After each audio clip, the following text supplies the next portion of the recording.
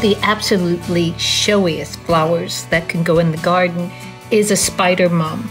Now, these are so named for their eight petals on each of the layers, and they you just mound them together and you get these beautiful blossoms. Now, in Victorian days, uh, the chrysanthemum or spider mum um, was no, uh, a term they used to send a message of truth. Now, if you have the white ones in your um, bouquet, it's also purity and truth. So they can they can be up to six inches in width. And I remember um, my first time seeing spider mums was when I was a cheerleader in high school, and every homecoming they gave the cheerleaders these beautiful spider mum corsages to wear at homecoming. So my love of seeing this beautiful showy flower that will last in a bouquet 14 to 21 days. So it's a really sturdy perennial. It's also because it does bloom more vigorously in the fall, or we see them in the fall. It's known as the queen of fall flowers. In fact, in Australia on Mother's Day, they actually um, give moms or mums um, a bouquet of chrysanthemums for them. So it's got a lot of meanings and really an interesting flower. It comes in white, of course, and then that beautiful, unusual chartreuse green that I think I put on the packaging. But the color I'm going to do today is this dual color where you see um, almost uh, a coordinating or contrasting color on the other underside that gives this beautiful shadowing effect.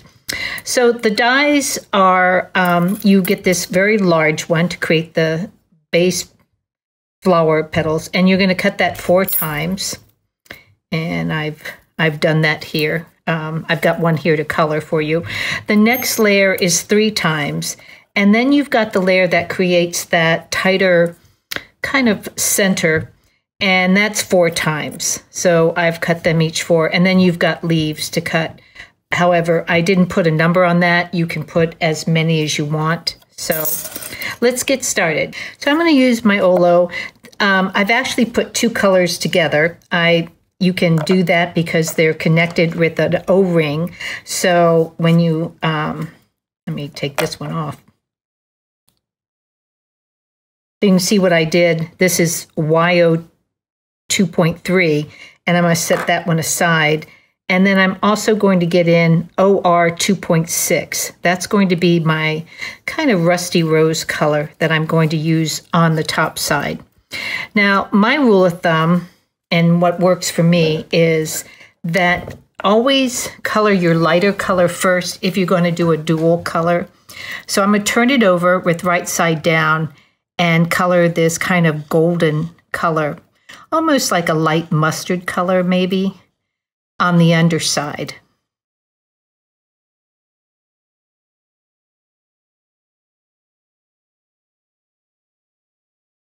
And then I'm going to flip it over and color it with the the 2.6.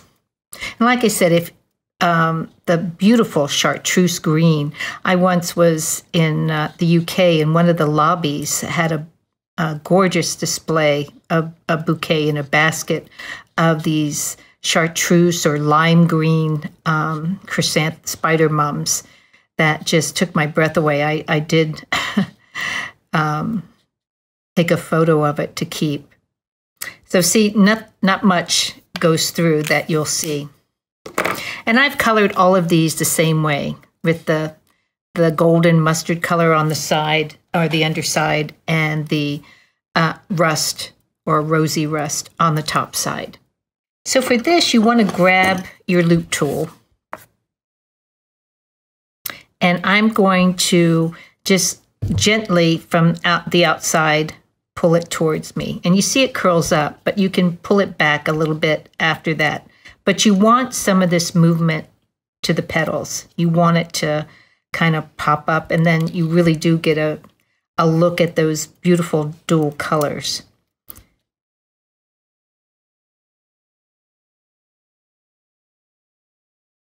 And I do this on the first two layers of petals. So you've got this large plate that has four, and I've cut four, and I've got, whoops, stay put. And then I'm going to grab my medium ball stylus here and just kind of come in and circle around that. Now don't worry about it closing up too tightly because you'll be able to open it up as you put it together.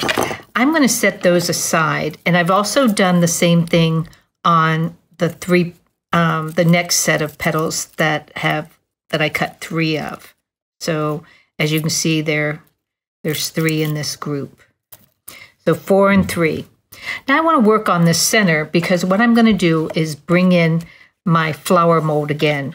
This is another great way to get your flowers to stay in that closed um, uh, form that you, you work hard to do.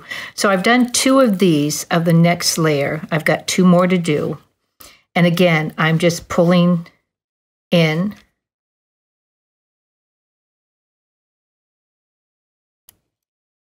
They're nice thin petals, so they do curl very easily.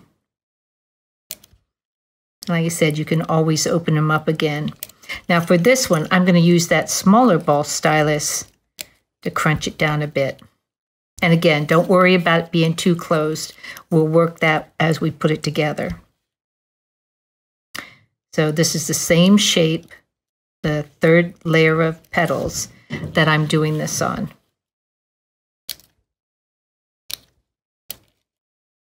And then I'm going to give it a little poke. Now I did it, um, so the next layer was the same way, but then I've got, let me grab these little ones. The little centers, I'm going to do a little bit different. I'm going to grab my um, leaf tool and I'm going to bring in that speedball pad and just run a crease right in the center. This wouldn't work to do the loop tool on because it it would it's not long enough to curl up. So I'm just giving some definition to the petal by adding that center line. And I'm going to do that on this one as well. So there's four, four, and four. So the only section that has the three is that second layer of petals.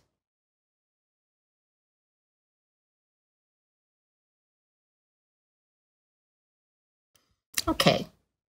Now these, I also cup them. So using that small ball stylus, actually I'm going to put them on the molding pad. That really works easier and gets you a nice cupping. So all four of those little ones that you just ran a line down with your leaf tool, we're going to cup.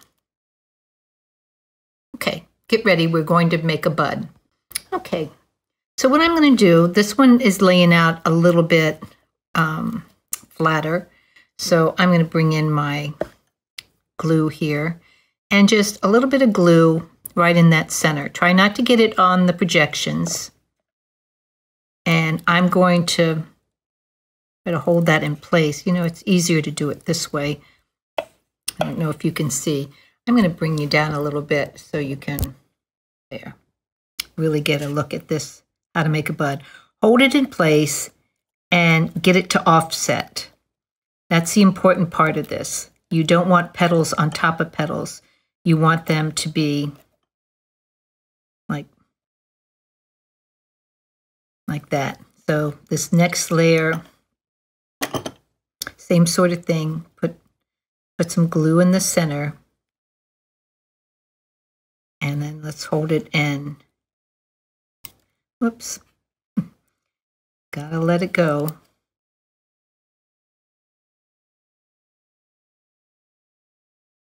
And now here's number four of that size. Again, a little bit of glue.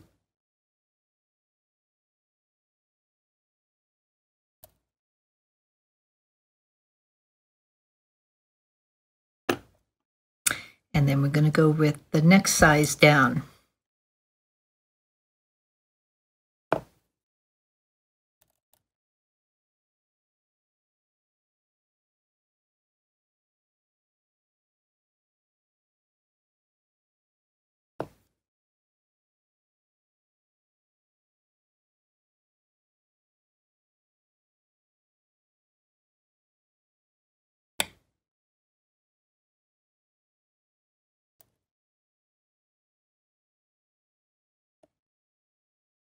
You see how the bud's starting to come together and look really natural.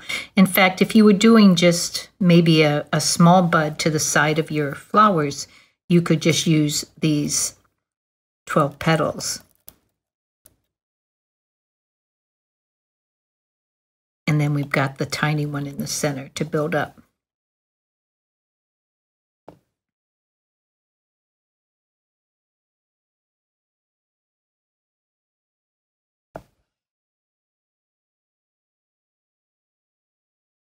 Make sure you keep your glue away from the petals. You just want it on that center.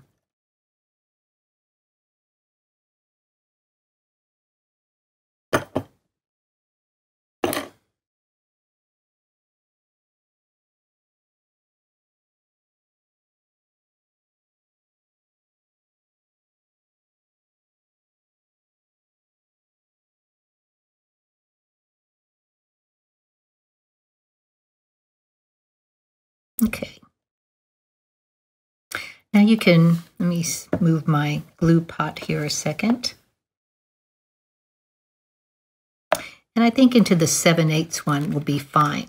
I'm going to just let it mold in that while I put together my project. Before we start building our flower, let's talk about the leaves. So I've got these nice, really big leaves and then these little leaves that are typical and I'm going to color them with the Olo, the YG 8.5 and 8.7.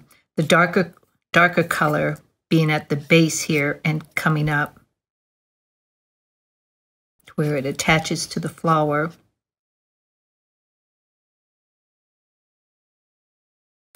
And then filling in with this lighter green, the moss.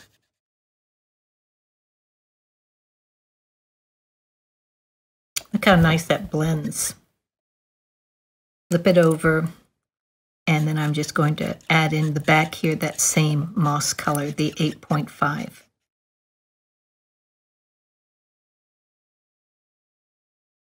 So you're going to grab your leaf tool, put right side down, and let's make a stem. This has both stems and veins. So you're going to fold down on that stem line. And I'm going to bring in my pan pastel here and accentuate the color of that stem line. And then back onto the leaf pad and you're going to draw out those veins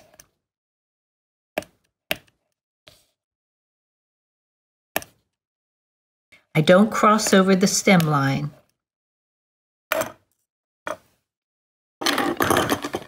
Put this back on so I don't dry out my glue. I'm going to bring in the molding pad and go ahead and pinch your leaf and you see how that that uh, stem line really pops up. Now you can bend down a little bit here on each of those sections. And sometimes I even pinch up on it so or you can take your medium ball stylus and kind of scrunch that end a little bit. Okay, let's put our flower together. Everyone knows I love to quilt, and so I was very fascinated. These are Becca Feeken's um, quilty dies that are out with Spellbinders that I decided to put my uh, spider mum on. So we're going to build first with the larger of the petals. And I'm just going to slip that down in the center here.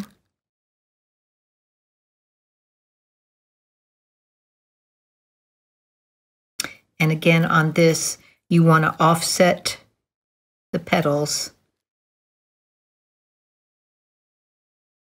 as you're building it up.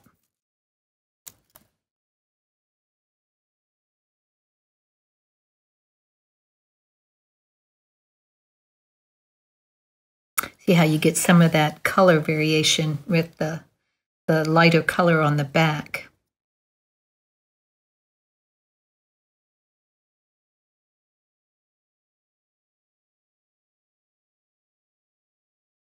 And then now we have that second layer, and these are three. So again, you're going to put your petals down. Tilt this a little bit.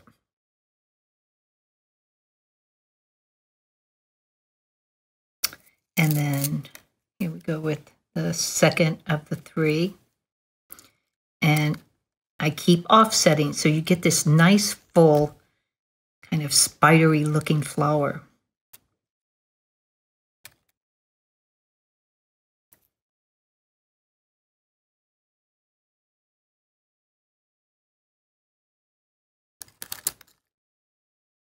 Just press down in there Make sure it's offset so you've got nice coverage.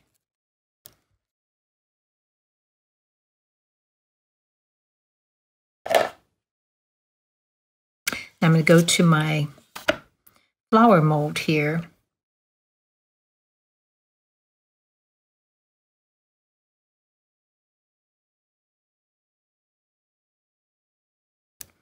And actually open some of these out a little bit. But you see how it's held in place with that shape. And I'm just gently pulling out some of those outer petals. Put some glue in there.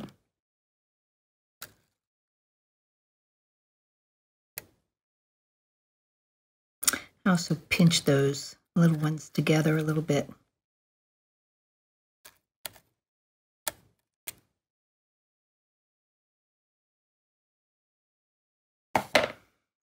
And we can tuck some leaves in.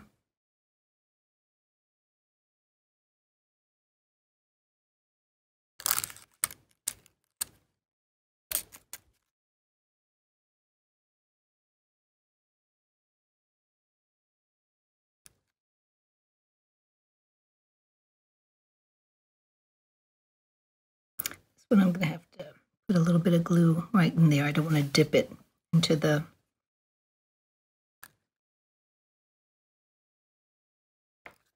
Okay, to finish this off, I'm going to add some eucalyptus, which is part of the new Victorian foliage. So hang with me. So this is another eucalyptus, more rounded leaf that you might, you know, be more familiar with. So I did little sprigs of that. Um, eucalyptus in Victorian times stood for um, protection. So we have uh, truth and protection in this bouquet. So it's, uh, I've cut it out of just some um, watercolor paper here, and I'm going to grab two colors. So I'm going to do a YG 8.3, but for that kind of silvery um, green, it's a BG 7.0. But here's a trick I'm going to show you. Um, when you want, you don't want a really dark stem like I used before. So I'm going to take and just grab a little bit of that YG 8.5 and scribble it here on my glass mat. Because I want to pick up the color with the YG 8.3 for the stem, but I don't want it really dark. So I'm just going up into this area here and giving it a little bit of shading to it. And I might pull it out into some of these leaves.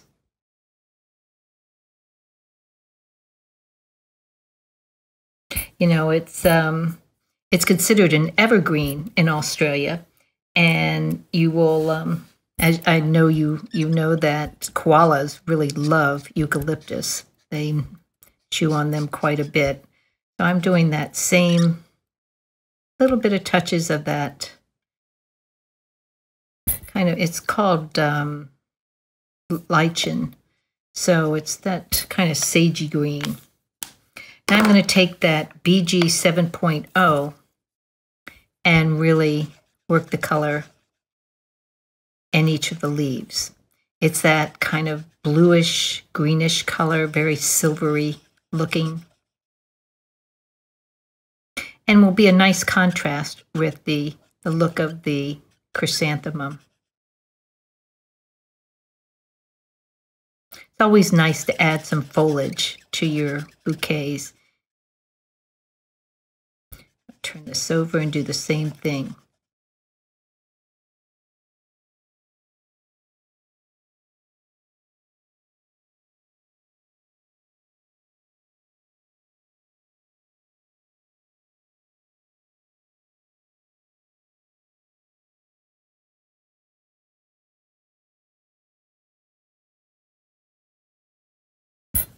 Okay. So grab your medium ball stylus, and we're actually going to turn this right side down on the molding pad, and we're going to kind of circle around here. These are rounded leaves. And although I couldn't do them where they're turned so um, as they grow on the, the stem here, you'll still, um, it'll still resemble. The only other way to do that was to make all these leaves separate, and that would have driven you crazy. So we're just getting the look, but a little bit different. And then what I can do is take my leaf tool here.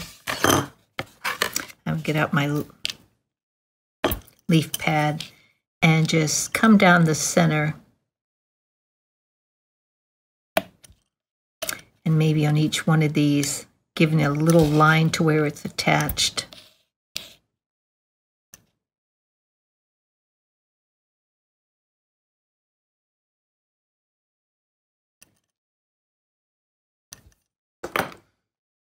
And these top petals or top leaves here, I'm going to bend upward. That's all there is to it. If we bring in our project again,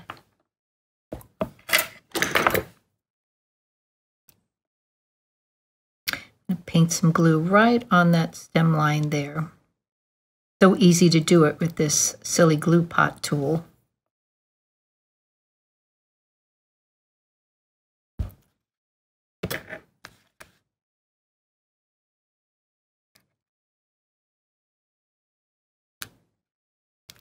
There we go. I'm going to put a couple up at the top, maybe one down at the bottom here.